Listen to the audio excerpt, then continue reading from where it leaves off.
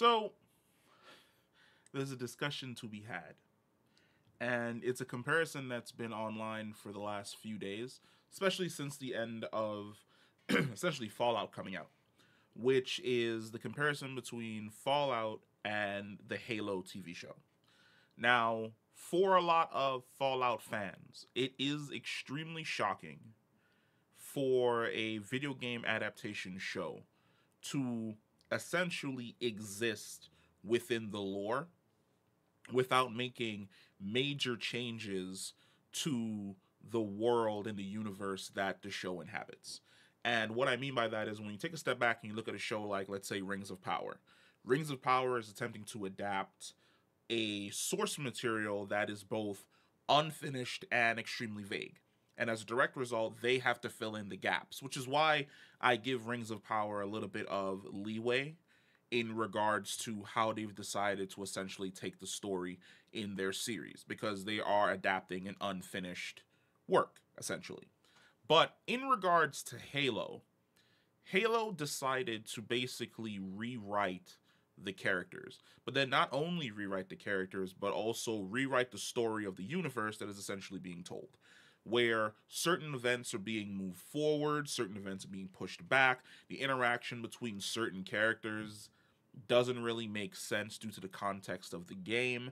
Uh, the way in which they treat certain characters that are super important in the universe doesn't also make sense in regards to the context of the game and the lore.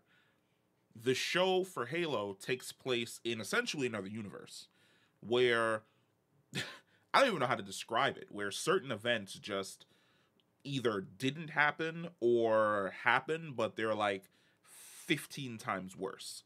And then the there is essentially the way in which they decide to treat the character of Master Chief, where he's a lot more vocal, the helmet's coming off, the suit's coming off, he's having sex, his ass cheeks are out there at different points in times throughout the show.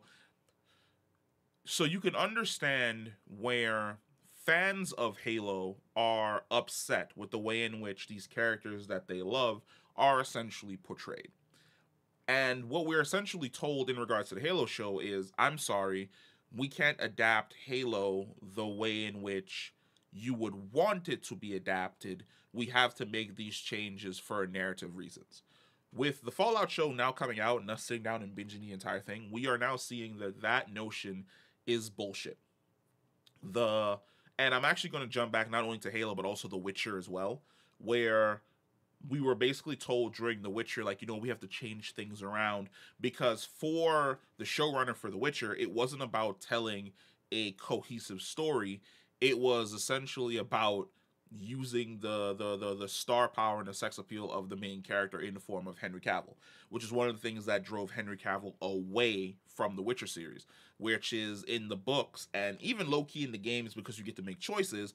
Geralt is very vocal. Like, like you understand what's going on inside of his head. You understand where the character is coming from, the reasons for the decisions that he's essentially making. There's a fantastic cast of characters that surround Geralt that also give input and wisdom that he either takes in or he openly rejects, but when he chooses to reject it, he rejects it in a way that you understand where the character is coming from. The showrunner for The Witcher decided that they didn't want to take it that route. They wanted Geralt to smolder. He had to do cool, sexy action things, and he had to like long stares and grunts and and and short words because you know it's the sex appeal of Henry Cavill that that's oozing through the screen. As a direct result of that, the story gets essentially butchered. It gets absolutely chopped up. Characters are moved around. Things are thrown around. Things are introduced and never circled back to because I guess they figure they're going to circle back to it in the future, even though this show is probably only going to get one more season. But the way in which the characters are treated pissed people off, pissed Henry Cavill off. And as a direct result, you've seen viewership for that show absolutely crater and tank after the first season. Halo suffers from that exact same situation, which is the people who want to watch the show, the fans of the game, are perturbed at the fact that when they sit down to watch the Halo show, way too much stuff is essentially changed from what they know in the universe to what it basically exists inside of the show.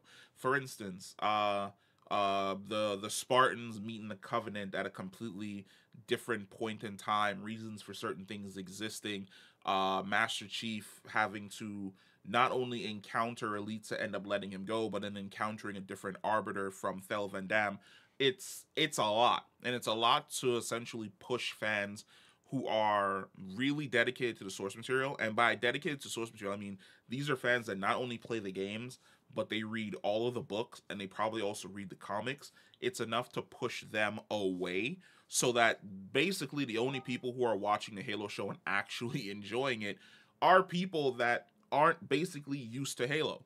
It's just a sci-fi show. And to them that they don't know the the, the source material, it's a really dope and cool sci-fi show, which is which is sidebar, the Halo show is a decent sci-fi show.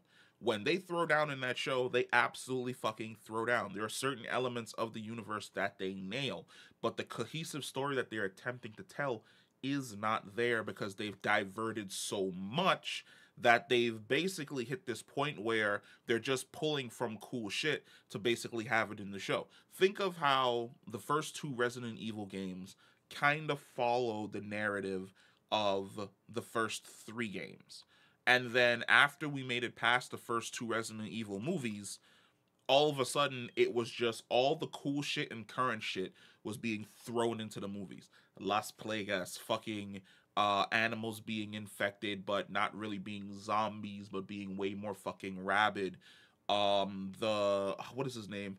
The dude who walks around with the giant axe, the dude who runs up with the friggin' chainsaw, like all of these different elements were basically thrown in there, and then it just went completely off the rails and in a completely different fucking direction that at that point in time you were no longer really taking the Resident Evil movies seriously. You were sitting down to watch the Resident Evil movies as basically popcorn movies, which is oh I'm not here for the lore, I'm not here for the characters, I'm just here for cool shit to happen. And then when I get up and I leave, I completely forget what the plot of the movie is until I see a trailer for the next movie essentially fucking coming out.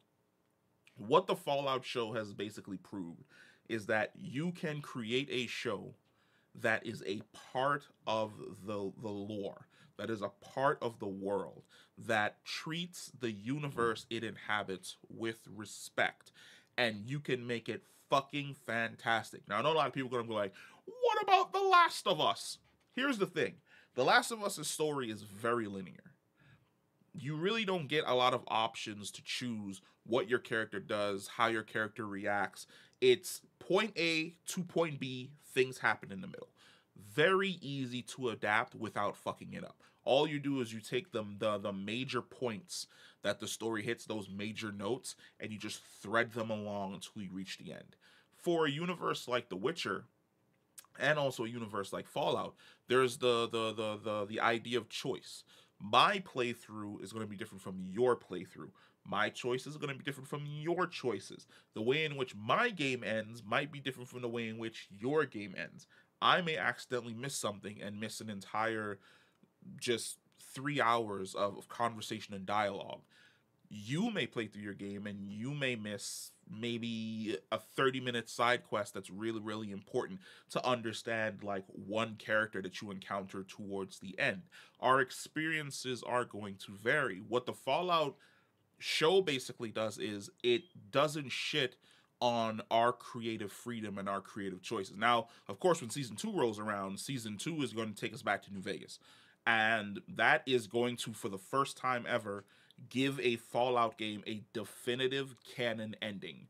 Where usually before it was kind of a little bit, a little bit flexible. Uh, Fallout one and two in regards to uh the chosen one and his descendants. You know, there's a little bit of flexibility there in exactly who the chosen one is who comes out of Vault 13. Uh, Fallout 76 is a whole gaggle of people that basically exit out of uh, Vault 76 and into the wastelands to tell their own stories and and create their own legacies inside that of the world. Uh, Fallout 3, Fallout 4, essentially the exact same thing. Character leaves the vault, goes on an epic journey, but everyone is basically isolated what we're basically dealing with now, especially going into season two, is a definitive ending. Who won? Was it the Courier? Was it Mr. House? Was it Caesar's Legions? Was it uh was it some faction of the NCR? What state is uh is New Vegas in? That that gets me that's get that, that gets me incited. that, that that that that hooks me. That that that keeps me there. But it doesn't dilute my experiences playing the game in any way, shape, or form. Which is this is the first time that we've actually gotten an adaptation that exists within the world but doesn't shit upon the world and continues to allow you to tell stories in this universe and build upon these stories in this universe. And that's fucking great. That's a one.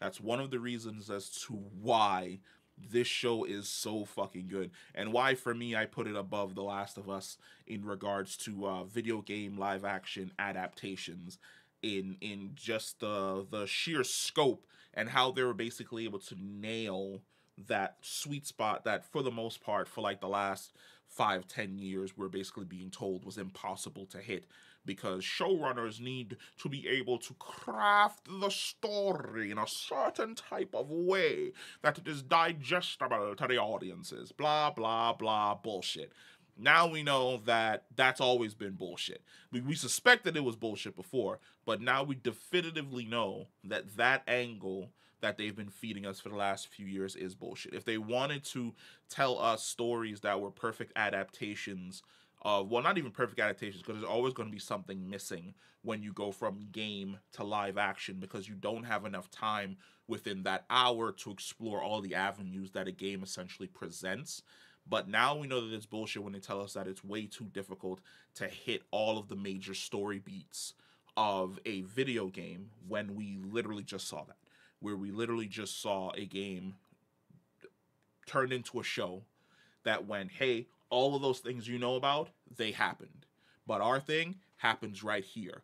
And our thing is happening while all these other things are happening, but also it's also happening where something else in the future is going to happen as well. But let me know what you think. Um are you I don't know.